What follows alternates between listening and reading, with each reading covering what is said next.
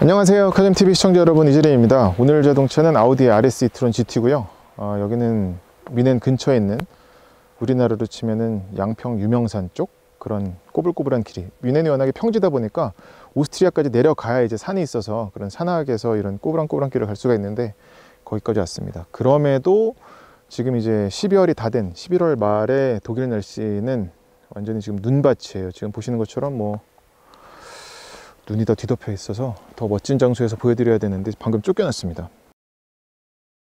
아무튼 아우디 RS e-tron GT 같은 경우는 프리뷰도 보여드렸었고 또 한국에서 선공개했을 적에 그 공개 영상도 보여드렸었던 터라 오늘은 좀 시승 그리고 2열 그리고 포르쉐 타이칸과 계속 비교를 당할 수밖에 없는 그런 입장이기 때문에 또 아래에서는 또 람보르기니 우라칸과 또 계속 얘기를 같이 하게 되죠. 그런 게 있는데 오늘은 어쨌거나 좀 RS e-tron GT에 집중을 해가지고 말씀을 드리겠고 결론적인 부분에서는 또 그 타이칸과 비교를 해서 상대적인 장점 그리고 또 어떤 게 아쉬운 게 있나. 사실 아쉬운 건 없고 장점만 괜히 많이 부각이 되는 것 같습니다. 오늘 또 독일에서 내심 기대를 하면서 탔었기 때문인지 몰라도 기대 이상으로 훨씬 웃도는 그런 성능과 만족감을 줬습니다. 사실 RS e-tron GT 같은 경우는 한국에서는 짧은 슬라롬 코스 그리고 제로백 드래그 뭐 한 진짜 10분 5분 타봤는데 여기 독일에서 타보니까 얘가 왜 GT라고 불릴 수 있는지를 알 수 있겠더라고요. 가격이 공개가 됐는데 지난번에 인제 스피디움에서 그때 내부적으로 들었었던 얘기는 얘가 R8과 비슷한 가격 그러니까 2억 5천만 원 정도가 될 거라고 예상을 했었어요. 그 말씀을 들었어요. 근데 2억 1천만 원이 안 되게 나와가지고 지금 굉장히 좀 공격적인 가격이 아닌가 어쨌거나 좀 타이칸과 그런 비교 우위를 선점하려고 하는 그런 가격 정책이 아닌가 싶고요. 간단히 말씀을 드리자면 그러니까 이거는 뭐 RS e-tron GT 뿐만이 아니라 e-tron GT도 그렇고 e-tron Q4 e-tron도 그렇고 A6 e-tron도 그렇고 또뭐 e-tron SUV도 그렇고 모두 라디에이터 그릴이 없죠. 이 겉에가 검은색 테두리가 안으로 들어갔고 그래서 이거를 반전된 얼굴이라고 아우디에서는 얘기를 하는데 inverted face라는 표현을 쓰는데 그런 얼굴을 갖고 있습니다. 그래서 이 디자인적인 부분은 타이칸과 비교했을 적에도 굉장히 우위에 있는 게 아닌가 싶고 그리고 이 시승차는 지금 보시는 것처럼 주르륵 주르륵 dynamic turn signal은 물론이고 레이저 헤드라이트도 들어갔습니다. 그래서 이 파란 거 보이시죠? 그래서 이 조사 각도 조사 방향은 물론이고 빛의 거리 자체가 빛이 뻗어져 나가는 거리 자체가 굉장히 멀리 가기 때문에 이거는 밤에 야간 운전할 적에 특히 악천후에서 운전할 적에 굉장히 도움을 많이 받았습니다. 오, 저기 지금 왼쪽에 지금 차가 없으니까 맞은편에 불을 쫙 켰죠? 저러다가 이제 또 차가 나타나면 지금 또 불을 껐고. 자 레이저 헤드라이트입니다. 아 저 차 때문에 다시 꺼지겠네. 이 레이저 헤드라이트가 정말 이런 악천후 때 특히 오 악천후 때 더욱더 빛을 발하는데 저 차들 때문에 지금 못 쏘는데 지금 빛이 계속 바뀌는 게 보이시죠?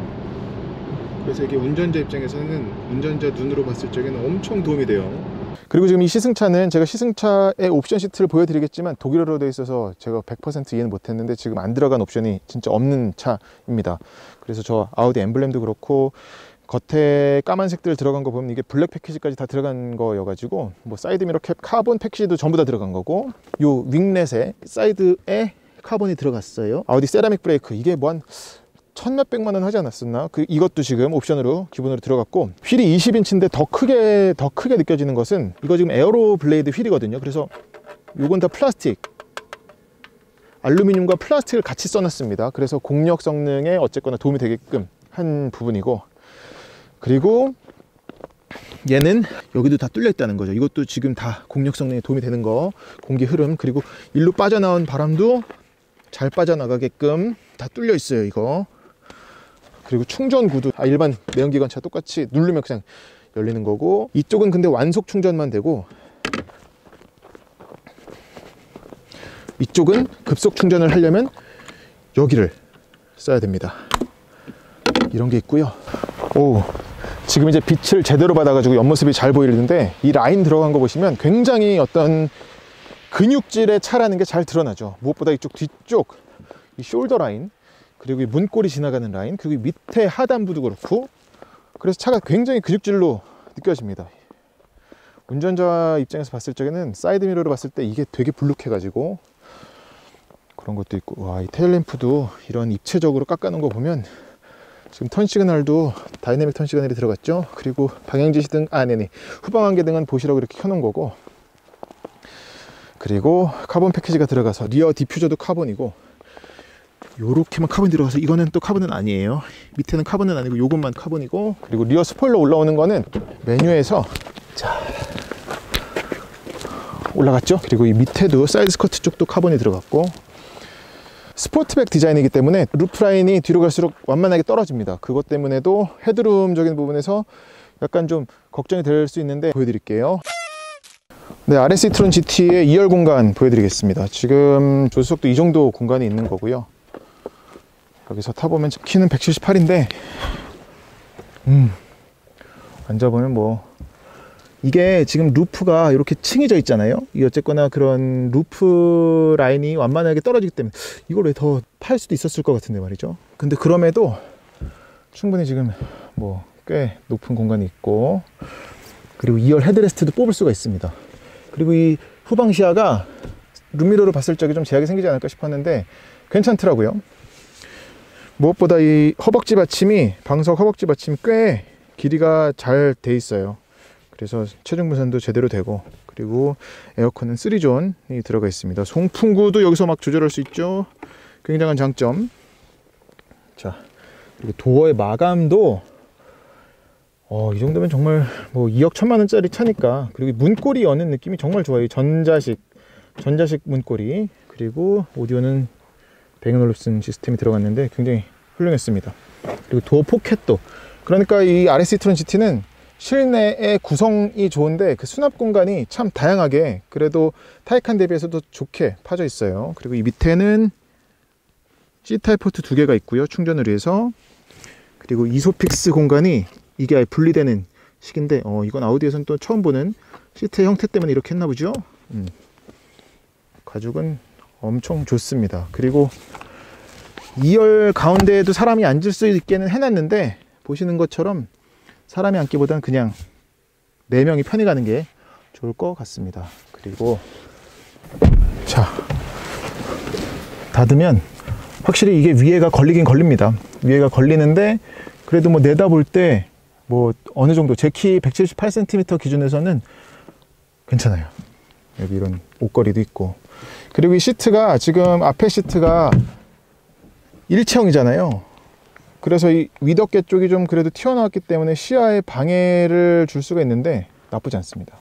공간도 아무튼 큰 장점은 발이 그래도 뭐 거의 들어가진 않지만 여기에 그래도 조금이라도 파놔서 공간을 확보를 했다는 거 그리고 비필러에는 뭐 없습니다만 여긴 다 스웨이드로 어, 전부 다 roof line까지도 마감을 했고 그리고 이런 데도 카본이 들어갔고요.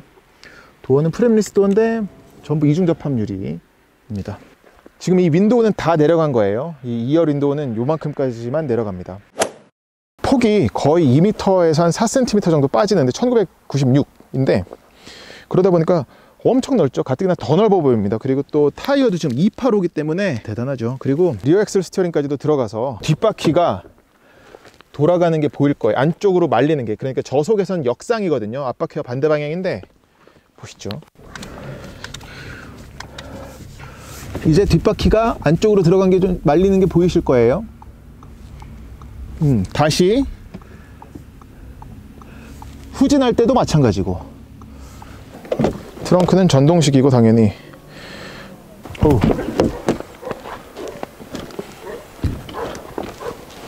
여기가 아주 하이킹을 하는 명소인 것 같아요 hello 성인 4명의 짐을 실을 정도까지는 안 되고 하지만 그래도 그리고 뒤에서 봤을 때 이게 Sportback임에도 불구하고 roof line이 그러니까 RS A7이나 A5처럼 완전히 열리는 구조는 아닙니다. 요만큼 열리죠. 그래서 짐을 뒤에까지 깊게 밀어 넣는 데는 좀 제약이 생기더라고요. 그리고 또 케이블을 이게 지금 케이블 가방인데 이 안쪽에 보면 되게 고정을 잘 하게끔 저렇게 클립이 장착이 돼 있어서 이 케이블을 싣고 다니더라도 워낙에 그리고 또 차가 고성능 차니까 이렇게 움직일 수가 있는데 얘는 그런 게 없습니다. 그리고 안에는 가정에서 충전할 때 쓰는 케이블이 이렇게 보관이 되어 있죠. 트렁크는 타이칸과 완전히 똑같습니다. 이 바닥도 여분의 공간이 있고 양옆에도 공간이 있고 12V 시가잭이나 그런 것들. 그리고 네트. 저기도 조그마한 네트. 하지만 타이칸과 비교했을 적에 큰 장점이라고 할 수 있는 건 앞에 frunk를 여는 버튼이 얘는 있다는 거예요 여기. 그래서 열면. 자, 이 공간이 나옵니다. 그래서 여기에도 저런 삼각대도 있고, 그리고 여기도 열어보면, 아, 포르쉐. 예. 그리고 여기도 또 타이어 펑처 키트라든지, 위상, 위급상할 때쓸 수 있는 그런 것들이 갖춰져 있습니다. 2열 시트를 접을 수가 있어서 이렇게 접으면 충분히 성인 두 명이 여행을 갈 때 트렁크도 실을 수 있는 공간이 나오죠. 시트는 4대2 대 4로 접을 수가 있어요. 가운데도 별도로 접을 수가 있습니다. 자, RS 트론 GT의 시트는 우리나라도 지금 이 시트가 들어갈 텐데 몸통 지지하는 거라든지 마사지까지 되거든요. 몸통 지지하는 거라든지 모양새뿐만이 아니라 가죽 냄새도 좋고 전부 슬라이딩, reclining, 요추 받침 그리고 허벅지 받침까지도 다 전동식입니다. 그리고 보시는 것처럼 이 브레이크 저기도 다 카본을 썼고 엑셀러레이터도 오르간 타입. 계기판은 full 디지털 방식이고 이 view 버튼을 눌러서 바꿀 수가 있는데 속도랑 주행 가능 거리 좀 크게 띄울 수도 있고 이렇게 여러 가지 정보를 보여줄 수도 있고요. 어쨌거나 근데 항상 주행 가능 거리는 나옵니다. 아, 지금 안 났군요. 3.1km per kWh 고 제가 지금 주행하면서 지금 온도가 2.5도예요. 그리고 내비게이션도 아예 지도를 다 띄울 수도 있고 전체를 띄울 수도 있고 또 view 버튼을 눌러서 일부만 띄울 수도 있고 그리고 여기선 전화기 여긴 라디오 정보. 그러니까 요 위에 상단 메뉴에 따라서도 view 버튼을 누르면 다 바뀝니다. 음, 그리고 여기서는 trip 컴퓨터인데 자, 주행 가는 거리 117 이건 연비 이것도 롱텀 연비 이거는 운전자 보조 기능 그리고 이거는 운전 안전 신호 표지판. 자, 보이죠. 그래서 이 레버도 똑같습니다. 이거 누르면 이제 첨단 운전자 보조 기능이 활성화되는 거고 한 번 누르면 꺼지는 거. 그리고 여기서 이제 ACC라든지 차간거리 유지 보조 차간거리 유지 조절 다 이쪽에서 하는 거고. 그리고 여기서는 와이퍼 달라진 거 없고요. 지금 이, 이, 이 트론 스포츠 사운드 지금 들리시죠? 예.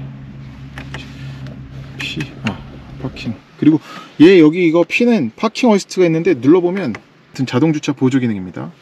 그리고 이제 에어컨 공조 장치가 이 위에 있어서 통풍 시트 열선 시트 모두 들어가 있고 자, 소리는 살짝 크네요. 그리고 이걸로 에어컨 온도 조절 풍량 조절 모두 직관적이죠. 너무 마음에 듭니다. 송풍구 손으로 움직일 수 있어. 그리고 기어봉 기어 knob가 아래 위로 내리는 스위치식인데 꽤 금방 적응하겠더라고요. 그리고 엔진 스타트가 이쪽에 있습니다. 근데 요거 약간 헷갈렸어요. 제가 비상등을 자꾸 눌러야 되는데 이걸 자꾸 눌러가지고 꺼버리더라고. 그런 게 있었고 그리고 이 볼륨 조절도 이쪽에 새로 자리 잡았습니다. 그래서 아예 끌 수도 있고 이건 뮤트 그리고 하면은 볼륨 조절이 되는데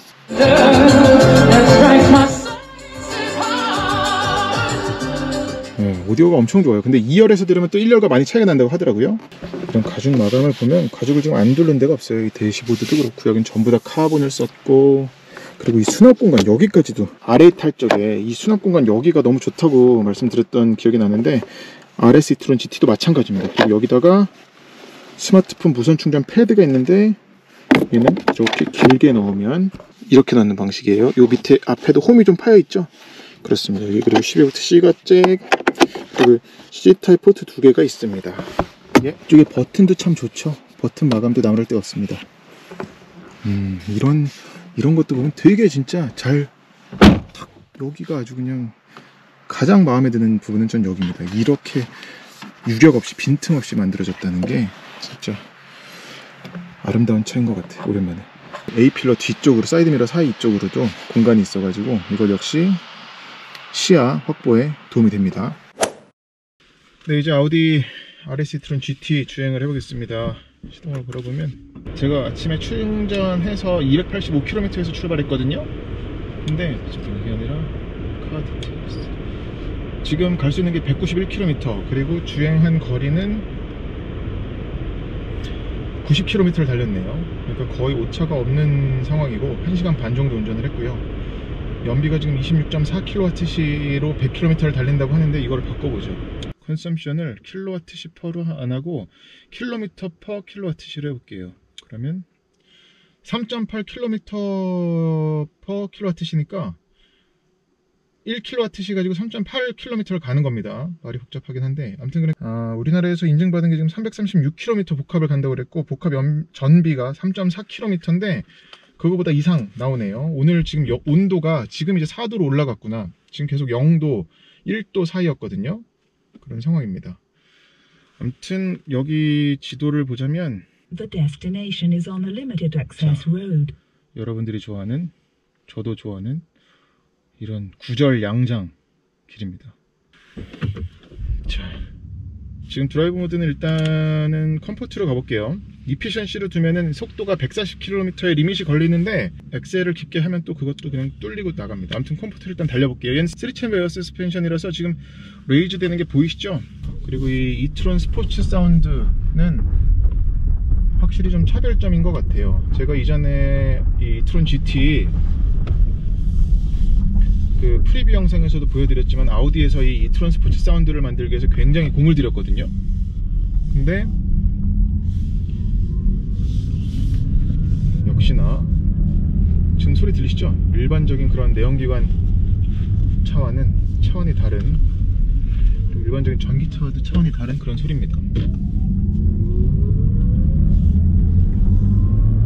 아, 타이어는 지금 피렐리 P Zero winter 타이어고 앞에 245 뒤에 285 그리고 제일 큰 21인치 휠이 신겨져 있고요. 종합해 보자면 아무튼 얘는 어떤 드라이브 모드를 두든 간에 차의 움직임이 굉장히 자연스럽습니다. 그게 저는 사실 여전히 그 전기차들은 물론 그런 내연기관차보다 무게중심 낮고 그 가, 엄청 무거운 배터리가 낮게 깔려 있어 가지고 안정적이고 그런 거는 머리로는 알고 있지만 가슴이나 손이 느끼기에는 얘가 이렇게 달리다가 갑자기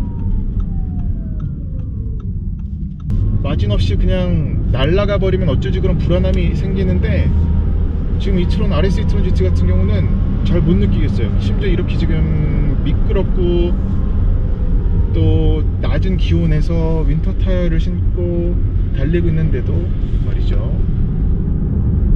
그게 가장 큰 장점이지 않을까 싶고. 사실 여기 유럽에 와서 타기 전에 한국에서는 과천에서 그냥 얘 제로백만 해봤잖아요 drag만 하고 그냥 슬라롬만 해봤었던 건데 그때 느낌은 정말 차가 이 튀어나간 느낌이 R8 V10보다도 훨씬 폭발적이었었어요. 근데도 신기한 건 그 사운드가 없이 튀어나가다 보니까 그런 운전 감성 내가 뭔가를 폭발시키고 있다 조종하고 있다라는 거는 R8만큼 안 느껴졌지만 그래도 그 머리카락 쭈뼛 솟는 것 같은 그런 가속 성능은 참 대단했습니다. 얘가 그래서 음, 그 부분 때문에도 그렇고 지금 운전하면서는 느낀 거는 얘가 시야가 되게 좋네. 이 부분은 타이칸보다도 좀 우위에 있지 않을까. 그리고 오늘 운전하면서 저는 저 부분을 좀 주의 깊게 본 게 뭐였냐면 룸미러를 통해서 뒤를 바라볼 때 얘가 아무래도 시트의 헤드레스트 때문에 2열 헤드레스트 때문에 시야 침범당하는 게 있고 roof line 때문에 얘가 지금 carbon roof잖아요? 근데 roof도 이렇게 삿갓처럼 해놨단 말이지. 그래서 좀 시야가 제약이 생길 거라 생각을 했었는데 그 부분이 크게 개의치가 않네요 이제. 음, 금방 저 부분은 적응할 수 있는 부분인 것 같고.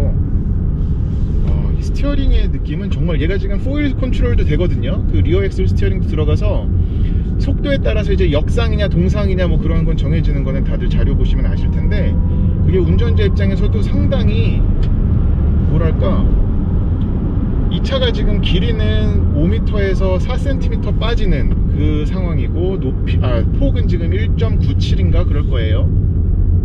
근데도 그거 같이 안 느껴집니다. 그거보다 오히려 더 짧고 폭도 좁게. 근데 이제 주차 자리 주차장 들어갈 때 골목길 들어갈 때는 물론 사이드 미러로 신경 쓰긴 합니다만 이쯤에서 이제 드라이브 모드는 스포츠로 바꿔볼게요.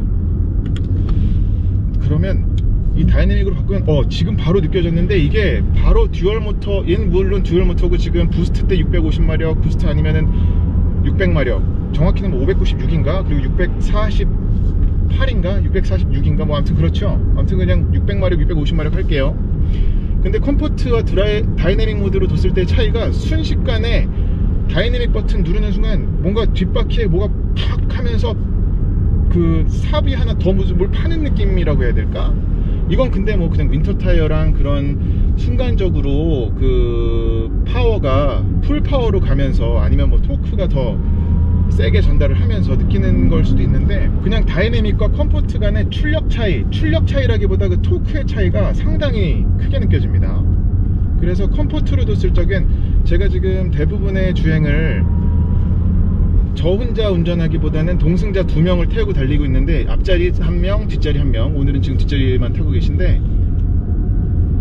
다들 이제 하나같이 하는 얘기가 선배 이 차 진짜 편한데요? 라는 얘기였어요. 거의 대형 세단 수준으로 편해요. 그러니까 이 차는 서울에서 부산 왕복을 하루에 할 수 있을 만큼 편한 그러니까 이름 그대로 GT카라는 성격에 딱 맞는 것 같아요.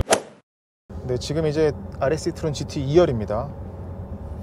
확실히 이쪽 뒷유리 쪽에서 그리고 뒷바퀴 쪽에서는 바람 소리 들어오는 게 좀 있고요. 전방 시야는 말씀드렸다시피 훌륭하고 이게 지금 일체형 시트인데도 괜찮아요. 그리고 무엇보다도 이 발 놓는 게 편해서 그렇다고 발을 아예 쭉 뻗을 수 있는 뭐 A8처럼 막 그런 건 아니지만 AA처럼 그리고 또 여기에 좀 버텨주는 게 있어서 이게 완전히 그런 버킷 시트는 아니지만 그래도 몸을 좀 지지해 줍니다. Please keep right 음, 그리고 armrest 때문에 팔 놓기가 참 좋고요. 어, 저는 지금 2열 공간을 처음 앉아보지만 앞에 이제 조건희 기자나 이민우 기자는 번갈아 가면서 계속 앉았는데 뒷자리가 장거리 여행하기에 전혀 문제가 없을 정도라고 얘기를 했는데 저도 그렇게 느꼈습니다. 지금 창문을 내려보면 워낙에 그리고 전기차가 차에서 내는 소음 자체가 작다 보니까 지금 문을 닫아보면 음, 상대적으로 외부에서 들어오는 소리가 더 크게 들리기 마련인데 얘는 그렇지도 않네요. 음, 아띠 모드 이중 접합률이고 그리고 저 이트론 스포츠 사운드는 확실히 안에서 듣는 게 좀더 어, 뒤에서도 제법 잘 들리네요. 음, 전방 시야 좋고 그리고 headroom도 뭐 말씀드렸던 것처럼 훌륭하고 이 옆에 보는 라인도 좋고요. 이 정도면 뭐 4명이 함께 충분한 GT카입니다. 그리고 버튼도 너무 좋지. 이게 지금 이제 어느 상황에서도 지금 그리고 이게 지금 어떻게 가능하냐 말이지. 지금 속도를 내면은 하나도 그냥 불안한 게 없어요. 지금 물론 traction 컨트롤 다 켜 있고 그리고 뭐얘 limit 그 앞에 slip 어, 뒷바퀴 differential lock이나 이런 것도 다 들어가 있으니까 마련이겠으나 대단합니다. 그냥 기본적으로 느끼는 운전자가 느끼는 그런 안정적인 모습은 경험해보지 못했던 부분이에요. 얘가 엄밀히 말하면 제로백 성능은 지금 RS7 수준이거든요.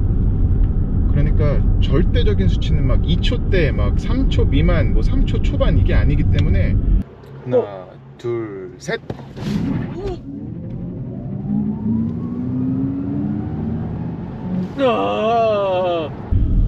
떨어질 수 있다고 볼 수 있지만 이미 3초 제로백이라는 것도 얘가 3.3인가? 부스트 때? 그것만으로도 충분히 빠른 상황이고 음, 어떤 속도 영역에서도 얘가 지금 재원표상 최고속은 250km인데 아우토반에서 달려보면 오, 지금 이것도 어떻게 그냥 하나도 거동이 그냥 내가 원하는 라인 그대로 돌아나가요. 특히나 저런 헤어핀 같은 데서는 지금은 바퀴가 뒷바퀴가 역상이었으려나 이것도 이따가 한번 영상으로 담아 볼게요. 그 RSQ에 보여드렸을 때처럼 저속에서는 역상으로 꺾여가지고 회전 반경을 줄이고 그게 한 1m 폭을 줄인다 그러죠. 얘도 마찬가지로 들어갔을 텐데 정확히 몇 도까지 맥시멈 몇 도까지 꺾이는, 꺾이는지는 모르겠어요. 그건 제가 지금 자료 뒤져봐도 안 나오더라고요. 아무튼 저런 헤어핀 돌아나갈 적에 차가 그 전해주는 그런 움직임이 라인이 부풀잖아요 보통 그리고 속도를 낼수록 관성의 법칙에 의해서 뭐 관성의 법칙까지만 말하고 있는데 라인이 부풀기 마련이죠 근데 이 RS 트런지트 같은 경우는 한 번도 물론 제가 그 마진까지 그 임계치까지 제가 차를 몰아붙이지 못했기 때문이라 생각은 하면서도 거기까지가 되게 다다르기 힘든 것 같아요 어. 인상적입니다. 그리고 시속을 속도를 내본 건 한 180 정도 아우토반에서 밟아봤는데 180까지는 딱히 잠깐만 밟아보면 네, 지금은 살짝 앞이 이 상황에서도 좀 앞코가 들리면서 뭔가 슥 서늘하게 나갔는데 그래도 그냥 그 자세를 잡는 동작이 되게 간결하고 되게 정확하게 잡는 게 있습니다. 물론 그리고 전기차는 그런 직발에서는 내연기관차가 따라잡을 수 없는 그런 게 있죠. 그냥 빡 터지는 거 그냥 스위치 온, 오프, 온, 오프 이런 식인 거니까. 얘가 그리고 심지어 최대 토크가 86.7인가 80 후반, 80 중반이었어요. 최대 토크가. 그 힘이고 게다가 dual 모터고 아 dual 모터란다 2단 모터가 들어가 있어 2단 기어가 들어가 있으니까 속도를 전기차가 보통 속도를 내면 미친 듯한 그런 노도와 같은 파워가 솟구치다가 속도를 낼수록 힘이 그냥 쭉 빠지는 게 있죠. 최고 출력이 보면은 그러니까 그 전기차가 다르게 내연기관차는 출력 곡선과 테- 토크 곡선이 같이 올라가서 이제 최대 토크, 최대 토크가 피크를 찍으면서 가고 최고 출력은 쭉 찍고선 떨어지고 아니면 뭐 좀 가고. 근데 내연 아 전기차는 이제 최고 출력 최대 토크가 최대 토크가 80 86이라고 치죠. 뭐 86kg 포스미터가 처음 그냥 엑셀 온 하자마자 그냥 나오는 거니까. 그러다가 이제 소위 그냥 편한 말로 끝발이 떨어진다 뭐 끝발이 없다라고 하는데 얘는 2단 기어여가지고 최고 속에서는 또 효율성이랑 보, 보내, 보내는 데에 작용을 합니다. 그래서 힘 부족한 건 뭐 650마력이면 650마력이 힘 부족이라는 표현은 떠올릴 말도 아니거든요 그 부분도 인상적인 부분이고. 그냥 놀란 부분은 저는 참 그 과천에서 슬라람 했을 때는 와 나는 이 트론 GT만 해도 충분하겠는데 이 600마력짜리는 감당 못하겠는데 그래서 여기 출장 오기 전에 좀 걱정을 좀 했었어요. 근데 오늘 타보니까 심지어 오늘 같은 악천후 날씨 그리고 이런 뭐야 최적화된 도로 상황이 아닌데도 불구하고 그리고 먼 거리를 달리는 데 있어서 운전자의 체력을 빨아먹는 차들 있잖아요. 특히나 뭐 그런 레이스카를 모티프로 한 아니면 뭐 그냥 레이스카가 되고 싶은 뭐 온로드형 스포츠카들은 체력 소모가 극심한 편이잖아요. 근데 RS 이트론 GT는 그 부분이 현저히 적습니다. 그래서 이건 놀랄 정도인데 양산형 전기차지만 어, R8과 마찬가지로 이게 사람의 손이 되게 많이 들어갔다는 걸 강조를 하는데 지금 실내 인테리어에서도 좀 전에 보셔서 아시겠지만 이런 만듦새 같은 거는 오뭐 엄청납니다 이런 대시보드 전부 가죽으로 감쌌지 여기 다 카본 썼지 그리고 이 버튼 최적화된 버튼 위치뿐만이 아니라 모든 거를 뭐 디스플레이 안에다가 다 집어넣은 게 아니기도 해서 운전자 입장에서는 강력한 성능을 가진 차일수록 운전하면서 조작하는 게 어렵고 복잡하면은 미치잖아요. 얘는 근데 모든 게 지금 직관적입니다. 특히나 에어컨 같은 경우도 그냥 바로 뺄 수 있고 이 송풍구 아 이거 이 형제차는 못 바꾸죠. 여기 들어가서 디스플레이에서 손으로 해야 되잖아. 대단해요. 그리고 앞에 트렁크 여는 버튼도 얘는 갖췄어요. 타이칸은 없잖아요. 트렁크 여는 버튼이 여기 디스플레이 안에 있잖아요. 그리고 얘도 이제 회생 제동을 이 마이너스 당겨가지고 단계를 조절할 수 있는데 그럼에도 불구하고. 엑셀 off 했을 적에 무슨 one pedal drive처럼 엑셀 가속 그러니까 감속이 확 된다 이런 건 아닙니다. 그래서 다만 이제 브레이크를 밟아서 제동할 때 음. 이럴 때는. 최대로 이제 끌어모으려고 하죠 에너지를 네한 400km 정도 RS 이트론 GT를 타고서는 독일에서 뭐 아우토반도 들어가서 타보고 도심에서 위넨 한복판에서도 타보고 그랬는데 이 정도면 정말 A7의 크기만이 아니라 A7을 대체할 수 있는 A7의 그런 GT스러운 거를 많이 가지고 있는 것 같아요. 그래서 R8보다 RS7에 더 가까운 게 아닌가라는 생각이 들 만큼 고성능 플러스 그런 편안함 어떻게 이렇게 편할 수 있지? 라는 얘기가 너무 많이 나왔어요. 이게 저뿐만이 아니라 그리고 동승자들이 더 많이 얘기한 거라서 뒷자리 어때? 뒷자리 어때? 저도 자꾸 확인을 했는데 어쨌거나 4시터니까 5, 5시터지만 사실은 근데 패밀리카로 쓰기에도 손색이 없겠고 뿐만이 아니라 얘는 뭐 운전자가 직접 운전을 하더라도 그런 재미 면에서도 충분히 재밌게 탈 수 있는 차라서 타이칸보다 비교 우위에 있는 게 꽤 많이 있는 것 같아요. 더 편합니다. 편하고 시트도 좋고 조작 편의성은 뭐 비교할 수 없이 좋고요. 물론 패키지 같은 전체적인 패키지 같은 부분은 비슷하다고 할 수 있지만 운전자 보조 기능도 뭐 되게 작동 잘 하고 자연스럽게 하고요. 근데 가끔 이 센서가 운전대를 잡고 있음에도 운전대를 잡으라고 띄울 때가 있긴 해요. 근데 그게 지금 아마 굉장히 낮은 온도 지금 2도거든요. 그리고 막 눈이 그 밑에 센서를 막 감싸면은 눈이 막 뒤덮이면 그런 게 간혹 발생하는 것 같습니다. 다만 이제 아시는 부분은 충전 주행 가는 거리죠, 역시나.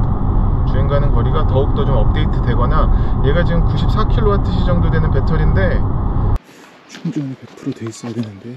12시간 36분 동안 26.5kWh가 충전이 됐네요. 여기가 완속이라서 가정용이, 가정용이다 보니까 지금 이렇게 콘센트를 했거든요. 자 그러면 주행 가는 거리가 100%가 안 되지 않았을까 싶은데 한번 보죠. 오. 자. 아 그러네 100%는 안 됐고 294km를 갈 수가 있는데 88% 배터리가 충전이 됐네요. 일단 얘는 고성능 차니까 그 부분에 있어서도 좀 자유로울 수는 있겠어요. 전기차는 뭐 고속으로 올릴수록 주행 가는 거리가 뚝뚝 떨어지는 거는 어떤 전기차든 마찬가지니까 그런 걸 생각을 하면 한국에서 타더라도 큰 차이는 없을 것 같습니다. 근데 이제 winter 타이어와 어, 스포츠 타이어, summer 타이어 간의 차이는 분명히 있을 것 같긴 해요. 그 부분은 나중에 기회가 된다면 다시 보여드리겠습니다. 네, 이상으로 RS e-tron GT 1년 전부터 기다렸던 시승을 독일에서 마침내 했는데 영상이 도움이 되셨다면 구독과 좋아요 부탁드릴게요. 고맙습니다.